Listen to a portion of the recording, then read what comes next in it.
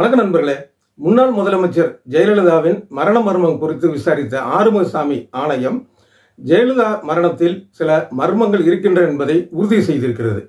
அதாவது அவருக்கு ஒரு முறையான சிகிச்சை வழங்கப்படவில்லை. அதை சிலர் தடுத்திருக்கிறார்கள் என்று அந்த துணியில சொல்லியிருக்கக்கூடிய அந்த ஆணைய தீர்ப்பானது ஆணைய முடிவானது ஜெயலலிதாவின் நெருங்கிய தோழியான சசிகலா உள்ளிட்ட சிலரை குற்றம் சாட்டுகிறது. இப்போ இந்த நேரத்தில் எம்ஜிஆருடைய மரணம் பற்றி ஏன் நம்ம பேசுறோம் அப்படின்னா எம்ஜிஆர் மரணத்தில் மர்மம் இருக்கிறது அவரை கொலை செய்து விட்டார்கள் அப்படின்னு குற்றம் சாட்டினது யாரு அப்படின்னா இதே ஜெயலலிதா தான். அதுக்கு முன்னாடி அந்த காலகட்டத்தை பத்தி ரொம்ப சுருக்கமா பார்த்துருவோம். ஆயிரத்தி தொள்ளாயிரத்தி எண்பத்தி ரெண்டுல தான் ஜெயலலிதாவை வந்து அதிமுகவுக்கு அழைத்து வர்றாரு எம்ஜிஆர். அதுக்கு முன்னாடி திரைப்படம்லாம் நடிச்சு ஓய்வா இருக்கிறாங்க அந்த காலகட்டத்தில். வந்த உடனே அவங்களுக்கு வந்து சத்துணவு திட்டத்தில் ஒரு முக்கியமான ஒரு அப்புறம் பின்னால் நாடாளுமன்ற மேலவை உறுப்பினர் அப்புறம் கட்சி கொலை பரப்பு செயலாளர் ஆரம்பத்திலேயே இப்படிப்பட்ட பொறுப்புகள்லாம் கொடுக்க அவருடைய செல்வாக்கு கட்சியில் உருவாகுது. அவர் தனக்குன்னு சில பேர் அமைச்சர்களை இவர் பன்ருட்டி ராமச்சந்திரன் திருநாவுக்கரசர் இவங்கெல்லாம் இப்போ அமைச்சர் K K S S R இவங்கெல்லாம் அமைச்சர்களை வச்சு ஒரு அணி வச்சிருக்கிறாரு இது வந்து என்னன்னா ஆர் வீரப்பன் அப்போ அறநிலையத்துறை அமைச்சர் அவருக்கு பிடிக்கல. அவர் ஜெயலலிதாவுடைய வருகையை அவருடைய செல்வாக்கு உயர்வதை கடுமையாக எதிர்த்து கொண்டிருந்த ஒரு காலகட்டம். இவர் தனக்கு பின்னால் ஒரு அணியை வைத்துக்கொண்டு இவர் இயக்கி கொண்டிருக்கிறார். இப்படி ரெண்டு பக்கம் ஆளுக்கு ஒரு பக்கமாக பனிப்போர். இது சம்மந்தம் நிறைய செய்திகள்லாம் வந்திருக்குது. இந்த காலகட்டத்தில் தான் எம்ஜிஆர் மருத்துவமனையில் அனுமதிக்கப்படுறாரு. எண்பத்தி நாலில் நான் சொல்கிறேன் அதுக்கு முன்னாடி வந்து அமெரிக்காலாம் போயிட்டு வந்தது வேற. அந்த சுருக்கமாக சொல்லுங்கனால இங்கே வர்றேன். அந்த காலகட்டத்தில் எம்ஜிஆர் என்ன பண்ணார் அப்படின்னா ஜெயலலிதா மேலே வருத்தத்தில் இருந்தார். கட்சிக்காரர்களை வந்து அவர்கிட்ட தொடர்பு கொள்ள வேண்டாம் அப்படிங்கிற மாதிரிலாம் அவர் அறிவி அறிவித்ததாக செய்திகள்லாம் வந்தது. என்ன காரணம் அந்த காலகட்டத்தில் எம்ஜிஆர் உடல்நலம் முடியாமல் இருந்தார்ல அப்போ அவர் வந்து டெல்லிக்கு சென்று அப்போதைய ஒன்றிய தலைமை அமைச்சர் ராஜீவ்காந்தியை சந்தித்தார். சந்தித்த உடனே என்ன- அது மட்டும் இல்லாமல் என்ன பண்ணார் அப்படின்னா எம்ஜிஆருக்கு உடல்நலம் சரியில்லை அதனால் என்ன முதலமைச்சராக்குங்க அப்படின்னு அவர் சொன்னதாக தகவல்கள்லாம் வந்தன. அதை உறுதிப்படுத்துவது போல் அப்போ ஒன்றிய தலைமை அமைச்சர் ராஜீவ்காந்தி சொன்னார். அதாவது நீங்கள் அரசியலேருந்து கொஞ்சம் ஓய்வு எடுத்துங்களேன் அப்படிங்கிற மாதிரி. இப்போ இதெல்லாம் கூட அவர் உடல்நலத்து மோசமானது காரணமாக இருக்குமோ அப்படிங்கிற ஒரு யூகம்லாம் எழுந்தது. இதை தவிர வந்து அப்போ அந்த இலங்கை இந்திய ஒப்பந்தம் போடப்பட்டது. அப்போ அதுலேயும் வந்து இவருக்கு நிர்பந்தம் கொடுக்கப்பட்டது அப்படிங்கிற மாதிரியான செய்திகளும் வந்தது. இந்த காலகட்டத்தில் தான் அவர் உடல்நலம் முடியாமல் மருத்துவமனையில் சேர்க்கப்படுகிறாரு. ஆனால் மறுபடியும் வந்து உடல்நலம் ஏறி இறங்கி இந்த ஒரு சூழலில் வந்திருக்கிற வந்திருக்கொண்டு இருக்கிற சூழலில் தான் ஆயிரத்தி தொள்ளாயிரத்தி எண்பத்தி ஏழாம் ஆண்டு டிசம்பர் இருபத்தி நான்காம் தேதி அவர் மறை மரணம் அடைகிறார். அதுக்கப்புறம் இந்த கட்சியில ரெண்டு பிர- பிரிவு வருது. ஆரம் வீரப்பா ஏற்கனவே இருக்கிற பனிப்போர் வந்து பெரிய ப- பிரிவு பிளவா மாறுது. அதுல வந்து ஆரம் வீரப்பன் அணி என்ன பண்ணுதுன்னா எம்ஜிஆருடைய மனைவி ஜானகி அவர்களை வந்து முன்னிறுத்தி அவரை முதல்வராக்குது பல்வேறு பிரச்சனைகளுக்கு அப்புறம். அவர் ஆயிரத்தி தொள்ளாயிரத்தி எண்பத்தி எட்டுல வந்து முதலமைச்சராக பதவி ஏற்கிறாரு.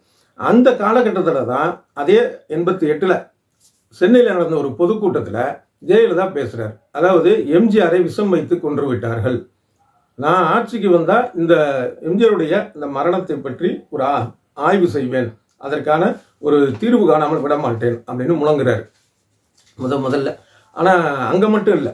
தமிழ்நாடு முழுக்க அவங்க போராட்டத்தெல்லாம் முழங்குறாரு. அது அப்போ அரசியலில் மிகப்பெரிய ஒரு சர்ச்சையை ஏற்படுத்திருச்சு. ஒரு முதலமைச்சர் அவருடைய மரணத்தில் இப்படி ஒரு மர்மமா கொலையா அப்படிங்கிற மாதிரி இதுல குற்றஞ்சாட்டுவரும் சாதாரண ஆள் இல்லை. எம்ஜிஆர் வந்து மிக செல்வாக்கு கொடுத்து மிக முக்கியத்துவம் கொடுத்து செல்வாக்கை வளர்த்த ஜெயலலிதா. வளர்த்து கொண்ட ஜெயலலிதா. அப்போ இவர் சொல்கிறாரே அப்படிங்கிற மாதிரி எல்லாம் ஆயிடுச்சு. ஆனால் பதிலுக்கு இந்த குற்றச்சாட்டை வேறு விதமாக டேக்கிள் பண்ணார் ஆர் எம் வீரப்பன். சரி இப்படி சொல்கிறாங்க ஆனால் ஆயிரத்தி தொள்ளாயிரத்தி எண்பத்தி நாலுலேயே அக்டோபர் மாதம் எம்ஜிஆர் உடல்நலத்தோட இருந்தார். அதுக்கப்புறம் தான் அந்த அக்டோபர் மாதம் தான் உடல்நலம் முடியாமல் ஆகிறாரு. அதற்கு முன்னால் கடைசி அவர் எந்தெந்த வீட்டுக்கெல்லாம் போனாரு அங்கே என்னென்னலாம் சாப்பிட்டாரு அப்படிங்கிறத ஆராயணும் அப்படின்னு சொன்னார். இதோட உள்ளர்த்தம் என்னன்னா அவர் உடல்நலம் இருந்த போது ஜெயலலிதா வீட்டுக்கு போயிருக்கிறாரு அங்கே சாப்பிட்டுருக்காரு ஏதோ அப்படிங்கிறத இவரும் பதிலுக்கு அடித்தார் இந்த விஷயம் தான் போச்சு. ஒரு இடத்துல என்ன ஆச்சு அப்படின்னா மக்களுக்கு ஒரு பெரிய ஒரு ஒரு ஆர்வம் அப்படின்னு சொல்ல முடியாது ஆதங்கம் அது. எப்படி வந்து இத்தனை பேர் மதிக்கக்கூடிய ஒரு தலைவருடைய மரணத்தில் இப்படி பேசுகிறாங்களே அப்படின்ட்டு.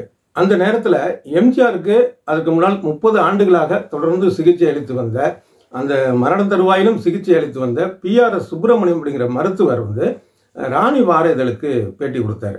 அப்போ அவர் வந்து என்னன்னா அன்றைய இரவில் எம்ஜிஆர் இறந்த அன்றைய இரவில் என்ன நடந்தது அப்படிங்கிறத ரொம்ப விரிவாக அதில் சொன்னார். எம்ஜிஆர் அமெரிக்காவில் போய் சிகிச்சை பெற்று வந்த உடனே அந்த அவருடைய வீட்டில் மூன்று மருத்துவர்கள் அதாவது என்னுடைய தலைமையில் மூன்று மருத்துவர்கள் ஆளுக்கு எட்டு மணி நேரம் அப்படிங்கிற முறையில் எம்ஜிஆருடைய உடல்நிலை தொடர்ந்து கண்காணிச்சிட்டு இருந்தாங்க.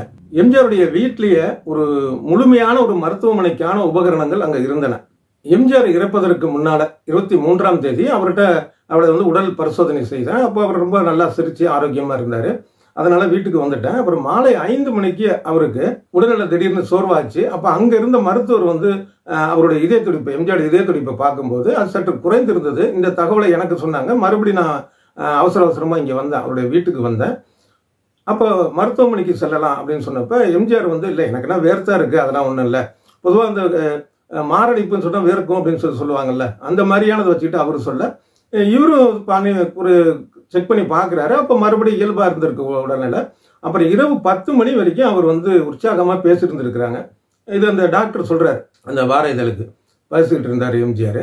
அப்புறம் பத்து மணிக்கு மோர் குடித்தார் அப்புறம் குடிச்சதுக்கு அப்புறம் சரி நீங்கள் வந்து கொஞ்ச நேரம் பேசிட்டு நீங்கள் வீட்டுக்கு போங்க முன்னாலும் உற்சாகமாக படுத்து அங்கே படுத்துட்டாரு.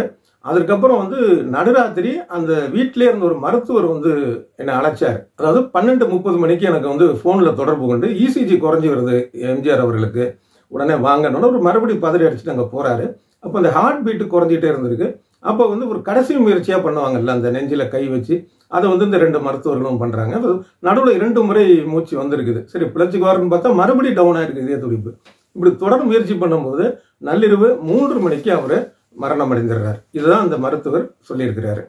மற்றபடி அவருடைய வந்து உடல் அவருக்கு வந்து விஷம் கொடுத்தாங்க மோரில் கலந்து கொடுத்தாங்க அப்படிங்கிறதெல்லாம் உண்மை அல்ல அப்படிங்கிறதான் இவர் சொல்லியிருக்கிறாரு.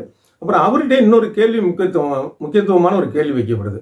ஏன்னா இந்த ஜெயலலிதா குற்றம் சாட்டினாங்கல்ல மோரில் விஷம் கலந்து கொடுத்துட்டாங்க அப்படிங்கிறது வந்து ஆரம்பிய மட்டுமல்ல முக்கியமாக ஜானகி எம்ஜிஆருடைய மனைவி ஜானகியை குறிவைத்து சொல்லப்பட்டது. அதனால் அந்த ஜானகி அவர்கள் வந்து எம்ஜிஆர் அவர்களை எந்த அளவுக்கு கவனிச்சுக்கிட்டாங்க? அப்படிங்கிறது கேட்டிருக்காங்க. அதுக்கு இந்த மருத்துவர் சுப்பிரமணியன் சொல்லியிருக்கிறாரு. ஒரே இதாக சுருக்கமாக சொல்றதுன்னா ஒரு குழந்தையை ஒரு தாய் எப்படி பார்த்துக்குவாங்களோ அப்படி பார்த்துருக்காங்க. பார்த்துக்கிட்டு இருந்தாங்க அப்படின்னு சொல்லி சொல்லியிருக்காரு. அதை தவிர எம்ஜிஆர் இறந்த அந்த சமயத்தில் உடல்நலம் முடியாமல் இன்னொரு அறையில் இருந்திருக்கிறாங்க ஜானகி. ஆனால் அந்த தகவலை எப்படி சொல்றேன்னு தயங்கிக்கிட்டு ஒரு கொஞ்சம் கொஞ்சமாக சொல்லி அப்புறம் அவங்க டென்ஷன் ஆகிடாமல் இருக்கிறதுக்கு சில மாத்திரைகள்லாம் கொடுத்து அப்படிதான் அவரை வந்து கொஞ்சம் கொஞ்சமாக தேர்த்திருக்கிறாங்க அவர் கதறி அழுதுட்டார் அந்த தகவல் கேட்ட உடனே அப்படிங்கிறதையும் அவர் பதிவு பண்ணியிருக்கிறாரு. அப்புறம் இன்னொரு விஷயம் சொல்கிறாரு நான் முப்பது முப்பது வருடங்களாக எம்ஜிஆருக்கு மருத்துவராக இருக்கிறேன் நான் சிறப்பு மருத்துவராக இருக்கிறேன் குடும்ப மருத்துவராக இருக்கிறேன். அவருக்கு வந்து பல்வேறு உடல் உபாதைகள் இருந்தன உண்மைதான். ஆனால் இதய கோளாறு அப்படிங்கிறது அவருக்கு இல்லவே இல்லை. அப்படின்னு சொன்னவர் ஒரு முக்கியமான ஒரு வார்த்தையை சொல்கிறாரு ஒருவேளை இந்த அரசியல் அழுத்தம் தந்தது வந்து அவருடைய மனதை பாதிச்சிருக்குமா அப்படின்னு தெரியல அப்படிங்கிற மாதிரி. அதுக்கு இந்த நிருபர் கேள்வி கேட்கிறார் செய்தியாளர் வந்து. இப்போ ஏற்கனவே நம்ம சொன்னோமே இந்த மாதிரி இந்திய இலங்கை ஒப்பந்தத்துக்கு வந்து அவர் நிர்பந்திக்கப்பட்டார் அப்படிங்கிறதும் ஜெயலலிதா வந்து பிரதமர் பிரதமர் ராஜீவ்காந்திட்ட போய் என்ன முதலமைச்சராகுங்கன்னு சொல்ல இவர் வந்து நீங்கள் அரசிலிருந்து ஓய்வு பெறுங்கன்னு சொன்னது வந்து இது மாதிரி காரணமாக இருக்குமா? அந்த ஒரு இதுக்கு கேட்டப்ப இவர் வந்து சொல்கிறாரு மருத்துவர் வந்து நான் ஒரு மருத்துவர் என்னை அரசியலுக்கு இழுக்காதீங்க அப்படின்ட்டாரு. இதுலேயே நமக்கு அந்த உள்ளர்த்தம் புரியும். இதுக்கு நடுவில் பார்த்தீங்கன்னா இந்த பிரச்சாரத்தை அதாவது மோரில் விஷங்கள் வந்து கொடுத்துட்டாங்க அப்படிங்கிற பிரச்சாரத்தை ஜெயலலிதா தொடர்ந்துகிட்டே இருக்கிறாங்க. அப்புறம் ஒரு கட்டத்தில் வந்து என்னாச்சுன்னா அப்போதைய ஆளுநர் வந்து இதுக்கு மேலே பொறுக்க முடியாமல் இந்த மாதிரியான ஒரு விஷயங்கள்லாம் வந்து பேச வேண்டாம். ஏன்னா எம்ஜிஆர் மரணம் குறித்த மருத்துவ அறிக்கை முழுமையாக அரசாங்கத்துக்கு வந்துடுச்சு. இதில் வந்து நம்ம மறுபடியும் விசாரிக்கிறதுக்கோ இல்லை சந்தேகப்படுறதோ ஒன்றும் இல்லை. இது சம்மந்தமாக பேசாதீங்க அப்படிங்கிற மாதிரி அவர் ஒரு அறிக்கை விட்டார். அதுல இருந்து இந்த விஷயம் அப்படி அமைஞ்சிருச்சு. அப்புறம் கால மாற்றத்தில் ஆயிரத்தி தொள்ளாயிரத்தி தொண்ணூத்தொன்னில் முதலமைச்சர் ஆகிறாரு ஜெயலலிதா. அப்புறம் தான் தெரியுமே நமக்கு. இறுதி வரையும் முதலமைச்சராக இருந்தார். அந்த காலகட்டத்தில் எப்பயுமே அவர் வந்து எம்ஜிஆருடைய மரணம் குறித்து ஒரு விசாரணை நடத்தணும் அப்படின்னோ இல்லை ஒரு ஆய்வு செய்யணும் அப்படின்னா எந்தவித ஒரு முயற்சியும் அவர் எடுக்கல. அது மட்டும் இல்லாமல் இவருடைய பரம வைரியான ஆரம் வீரப்பனை ஒரு கட்டத்தில் தன்னுடைய அமைச்சரவையிலையும் சேர்த்துக்கிட்டார். இதுதான் ஜெயலலிதா எம்ஜிஆருடைய மரணம் குறித்து கூறிய கடுமையான குற்றச்சாட்டு. அப்போ ரொம்ப பரபரப்பாக இருந்தது. இப்போ பார்த்தீங்க அப்படின்னா இப்போ அதே ஜெயலலிதாவுடைய மரணத்தில் ஒரு மர்மம் நிலவுது. இதுதான் காலம் என்று சொல்லுவதா தெரியவில்லை.